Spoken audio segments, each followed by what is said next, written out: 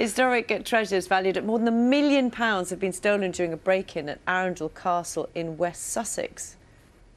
Among the items taken is a set of gold rosary beads uh, carried by Mary Queen of Scots to her execution in 1587. Uh, the burglary actually happened on Friday night. A spokesman for the castle said the pieces were of priceless importance.